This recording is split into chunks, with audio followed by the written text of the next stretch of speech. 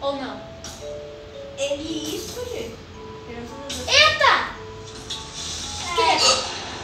Esqueleto!